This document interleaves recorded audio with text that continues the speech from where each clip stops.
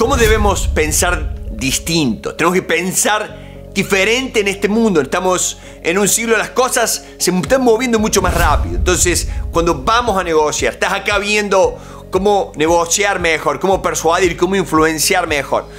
¿Te animas a que te haga cuatro preguntas de acá de mi libro Nunca temas negociar? Y quiero que te las conteste, quiero que las pienses. ¿ah? Las voy a leer tal cual, las voy a leer de acá, libro.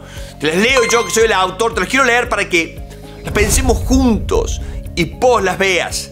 Tú las veas, las completes, veas. Entonces, la primera pregunta es, son para reflexionar, no hay nada que esté bien, que esté mal, son preguntas justamente para reflexionar en esto, en cómo podemos pensar distinto, cómo podemos ganar esa ventaja al negociar. La ganamos acá, fíjate. Eh, ¿Piensas que puedes simplificar tu mensaje al momento de negociar? ¿Lo puedes simplificar al mensaje?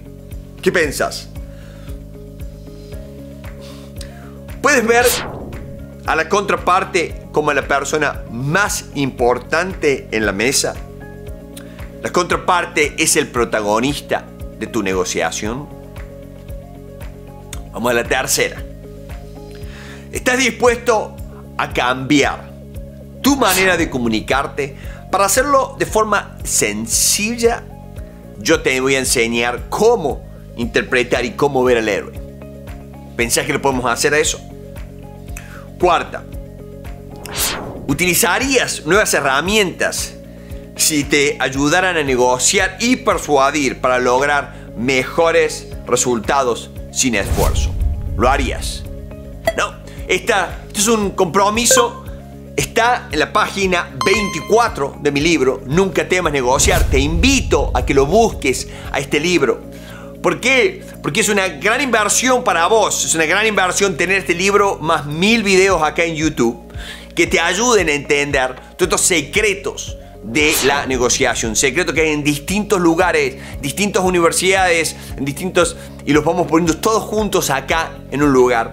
Y es importante que nosotros veamos y sepamos que estamos buscando una nueva forma de comunicarnos. Estamos buscando comunicarnos más efectivamente.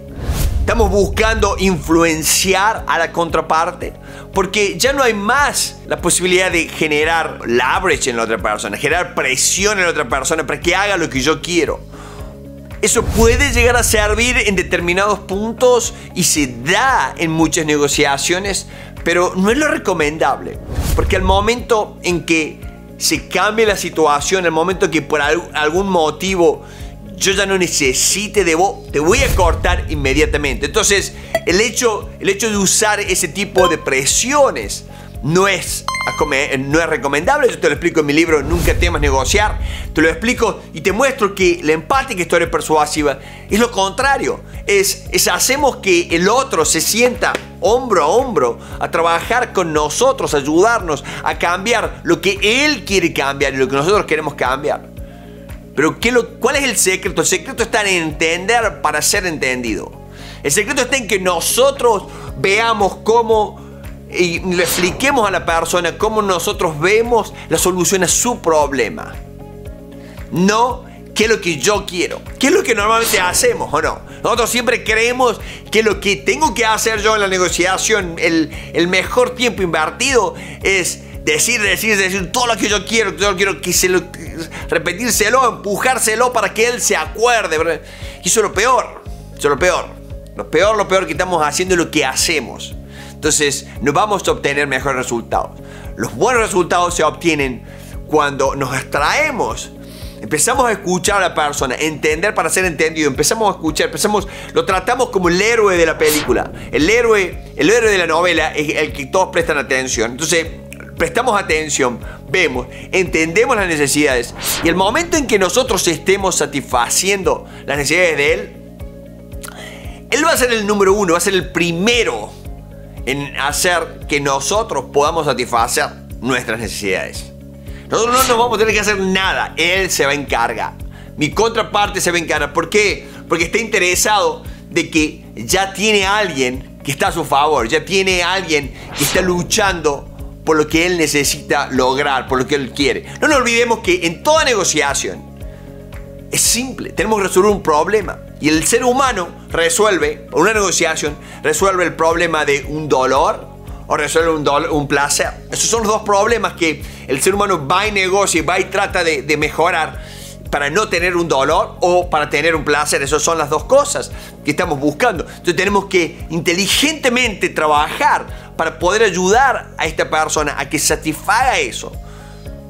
Y, no, me ten, no me hace falta comprometerme. Sí, sí, sí, yo lo hago sin cobrarte, yo lo hago. No, no, yo puedo ir hablando de que lo voy a cobrar, de que yo necesitaría para poder dedicarle el tiempo. Puedo ir armando todo eso, que ahí están, que por eso te invito a que leas el libro, nunca temas negociar, para que no temas y que empieces a trabajar de a poco. Nada se da todo de golpe, es uno de los grandes problemas que por ahí mucha gente, muchos eh, novatos, mucha gente nueva en esto hace. ¿Qué es lo que hacen? Van de golpe y tiran todo de golpe y eso es contraproducente. Eso no te ayuda. Lo que tenemos que hacer es ir tirando de a poco y fundamentalmente en la persuasión. No hay nada mejor que una, que una buena pregunta, un par de buenas preguntas y una historia. Acá yo te muestro Hemos hecho videos de cómo contar historias. Te invito a que los veas acá y te invito a que bajes la hoja de preparación, que en uno de los capítulos está acá. Cómo prepararte, cómo estudiar la, la preparación al momento de negociar. Y si tenés el libro, si tenés el libro, anda, hay un curso secreto, un curso bien, bien secreto para la gente que tiene el libro. Está acá adentro las instrucciones de cómo vas a verlo el libro. Pero bueno, te invito a que lo busques a eso y que prestemos atención siempre en cómo vamos a trabajar, cómo vamos a trabajar con esto. Vamos a cambiar nuestra forma de pensar al momento de negociar. Vamos a cambiar, vamos a empezar a utilizar otras herramientas. La herramienta de escuchar, la herramienta de la empatía, la herramienta de la historia, la herramienta de la persuasión. Son herramientas que mucha gente las ignora, pero cuando vemos a los maestros negociando, cuando vemos a la gente que realmente sabe cómo negociar, que realmente obtiene resultados, eso es lo que hacen. Una y otra y una y otra vez. Entonces, ¿qué estamos esperando para aprender justamente? Para aprender cómo puedo ser más empático. ¿Cómo puedo conocer estas preguntas que hay acá en el libro sobre empatía? ¿Cómo puedo eh, eh, traducir? ¿Cómo puedo hacer ver a la persona que sí me preocupo por ella, que estoy sintiendo ese dolor, que estoy sintiendo eh, ese problema que tiene. ¿no?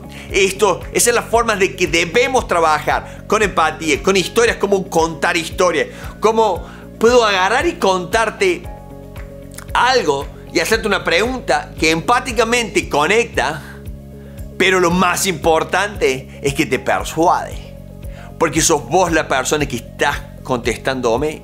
Entonces te pongo yo en, el centro de atención y te estoy dando mi tiempo y eso lo estás valorando. Todo el mundo valora cuando la otra persona le da el tiempo y uno puede hablar y puede explicar y puede esto y lo otro y es cosas de mucho valor. Como te estoy dando ahora son cosas de muchísimo valor, son cosas que están ahora, son cosas muy nuevas, técnicas muy nuevas que están dando extraordinarios resultados. Por eso quiero que los veas, que tomes nota, que, los escribas, que lo leas el libro, compra el, audio, está en el audio, comprarlo está en Amazon, eh, léelo, pero también escúchalo varias veces. Que te ayude a interpretar, que te ayude a ver, que te ayude a investigar estas nuevas herramientas que tenemos. Yo te lo digo acá en las preguntas que te dice. Si estás dispuesto a unas nuevas herramientas que te dan mejores resultados sin esfuerzo. Eso es lo que estamos buscando porque por ahí logramos un montón de...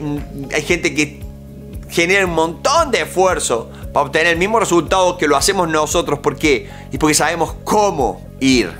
Sabemos cómo preguntar. Acá tenemos 110 preguntas eh, en todo el libro que te van a ayudar justamente a analizar cada uno.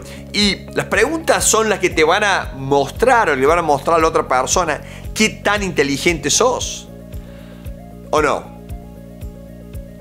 La gente lo que hace enseguida, mira, escucha, ve la pregunta y la pregunta es lo que más nos indica el nivel de inteligencia de la otra persona. Entonces, si nosotros hacemos mejores preguntas, la otra persona nos cree, nos ve más inteligentes. Y si nos cree, nos ve más inteligentes, nos presta más atención. Nos presta más atención, tiene más respeto. Va a buscar, va buscar eh, em, mejores respuestas. Y ahí empezamos a trabajar de forma tal de que vamos a obtener mejores resultados. ¿Qué es lo que queremos? Por eso, nunca temas negociar es la forma de cambiar. Cambia el juego. Ese misterio de que la negociación nos trae ansiedad. porque Le trae la negociación nos trae ansiedad porque nos estamos focalizando en qué? En el resultado, en vez de focalizarnos en el proceso. Seguir el proceso de la empática historia persuasiva, seguir el proceso y a ver cómo las emociones van a andar bajo control. ¿Por qué? Porque tenés un proceso que maneja, que canaliza todo eso. Vamos ya mismo a ver Empática Historia Persuasiva, este video, para que te metas y busques el libro. Vamos ya mismo.